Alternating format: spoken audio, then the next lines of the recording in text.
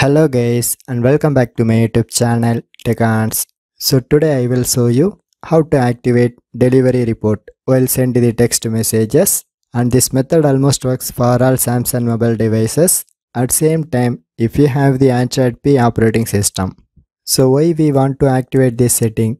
Because if you send the text message to your loved one, you get the amount debited message from your service provider but they does not know if this message is delivered or not. So to avoid this kind of problems, you can easily enable this feature for confirmation of your text message delivered.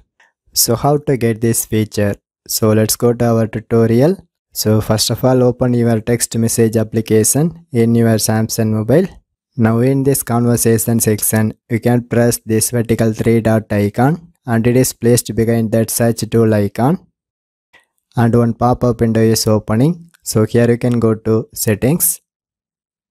And this is message settings. So now in the settings section you can go to more settings and the fourth one. So here you can choose text messages and the first option.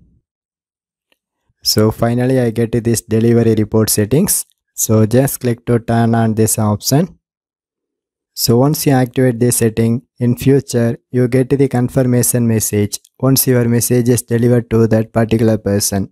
At same time, some users are does not like this feature. So if you are one of the person, just click to disable these settings. So this is the way you can easily enable or disable this feature by watching my tutorial. For more tech videos, you can subscribe my beautiful tech channel, Teconz. And thanks for watching.